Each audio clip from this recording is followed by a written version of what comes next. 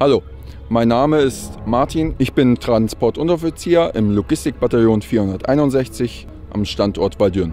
Meine Aufgaben sind es, ähm, andere Kameraden in Fahrzeugen einzuweisen, spezifische Ausbildung zu machen im Bereich Ladungssicherung und in dem allgemeinen militärischen Wesen. Das Spannendste an meinem Job ist, dass äh, nicht jeder Tag gleich ist wie der vorherige Tag und immer Abwechslung da ist und man immer mit guten Kameraden zusammenarbeitet. Das ist ein Teil unseres Fuhrparks. Das Fahrzeug zeige ich euch jetzt mal etwas genauer. Das ist niegelnagelneu. Das ist der MAN TGS mit 430 PS. Abgeholt letzte Woche Mittwoch mit gerade mal knapp 600 Kilometer. Mit einem Leergewicht von 13,7 Tonnen.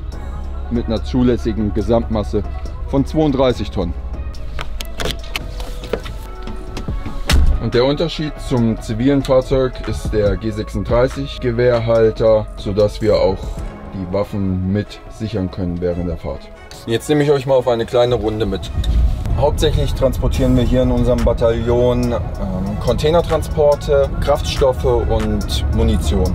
Das Beste an meinem Job als Soldat finde ich, dass man immer wieder irgendwo anders hinkommt, verschiedene Übungen, auch im Ausland, sodass man auch mit anderen Kameraden von anderen Nationen zu tun hat. So, wir sind angekommen. Ich hoffe, euch hat die kleine Tour gefallen. Und ich hoffe, dass ich euch bald als Kameraden und dann als zukünftige Transportunteroffiziere begrüßen darf. Geht gerne auf die Karriereseite, fragt euren Karriereberater und dann sehen wir uns demnächst. Macht's gut!